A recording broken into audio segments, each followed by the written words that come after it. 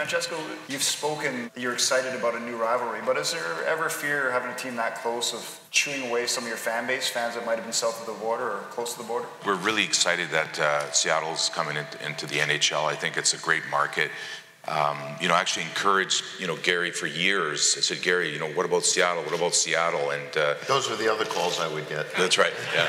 you know, I think uh, um, from a competitive standpoint, it's great. You know, the the uh, you know, the rivalry, you know, we've got another team in the West. We can take a bus trip down there. There'll be fans coming up and down. But, you know, I think for, for us, like our, our fans really stop at the border. I think, you know, Washington State, I mean, we really don't get, you know, any season ticket holder. We might get a few, you know, but, but for the most part, you know, because, uh, you know, with, with Sportsnet, you know, it doesn't doesn't play into Washington State, so we really don't have like a fan base in Washington State. So um, you know, I don't from a t- so from a season ticket perspective, I don't think it's going to affect it because, you know, I mean, hockey is you know it's it's it's seven o'clock at night. There's two games a week. You know, it's it's it's a trek to get people out there. I mean, it's not easy. You have to be really committed, and so. Um, I don't think it's going to affect our business. So actually, I think it's actually going to grow our business. That's what I think. You hit a home run with Vegas. Do you think the same thing? Yeah. Well, the, the, two things. One, uh, I agree completely with Fran- what Francesco said uh, for Vancouver to have a natural geographic rival is yeah. going to be sensational. Uh, and so this, you know, the, the games between the Seattle, whatever they decide to name themselves, uh, that's coming soon, and, and, the Canucks is going to be great. Uh, I think there are going to be more people going back and forth across yeah. the border to catch these home and home games. So we're excited about it. What, what we did in Vegas, and we're going to do it again in Seattle, although we'll see if they can be as successful. Because of the system we have that we talked about before, where every team can be competitive, uh, and looking at what expansion has been like over the years, not just in our sport, but in other leagues as well, is typically you give the expansion team a weak pickings, slim pickings in terms of their talent for the first three or four years, there's this initial enthusiasm about having a team, and the team isn't yet competitive, and then things fall off. And then after about a decade, the team gets competitive and people come back, and you see that model. Uh, because we have this system where all of our teams are competitive, we decided we couldn't bring in a team that couldn't be competitive from day one, which meant we had to give a deeper expansion draft.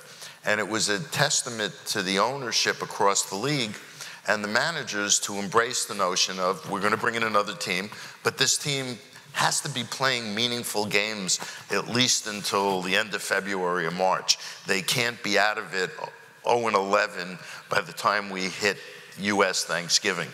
Um, so we gave Vegas a deep expansion draft, and who knew?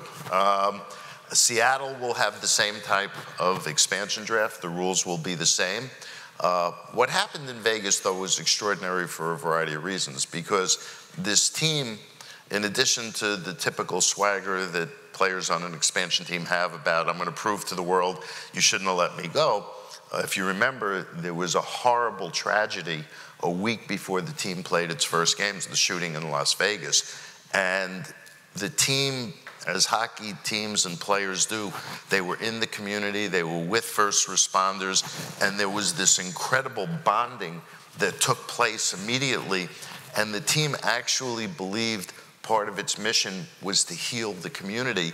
And every night they were playing with the emotion of we've got to win for the people of Las Vegas. We have to heal the city. Um, I, for a while, I thought I was making this up, and then I spoke to a number of the players who played for the Golden Knights in the first year, and they told me, yeah, absolutely. Um, and that's one of the reasons they had this incredible success, and it was an amazing run uh, through the year. Seattle uh, will have the same resources available to it. They're doing a nice job building the arena. Uh, and when the 21 22 season begins, uh, I think it's going to bode really well for hockey in the entire Pacific Northwest. So we're excited about it.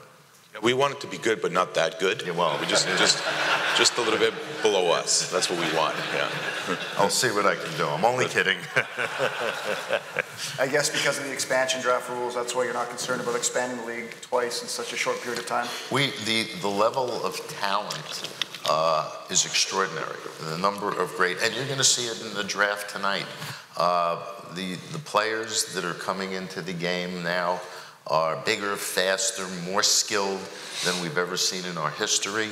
Uh, the game is being played at an extraordinary place, pace with extraordinary skill. Uh, you know, do I think we should expand by 10 more teams? The answer is no. I think 32. And by the way, Seattle, not that we did this for symmetry purposes, because you wouldn't make an important decision, business decision for expansion just on symmetry, but now it balances us off with 16 teams in the West and 16 teams in the East. And I think for the foreseeable future, we're at a good place. I don't think we're diluting the talent. Just look at what's going on. Uh, but we're not focused on any more expansion at this point.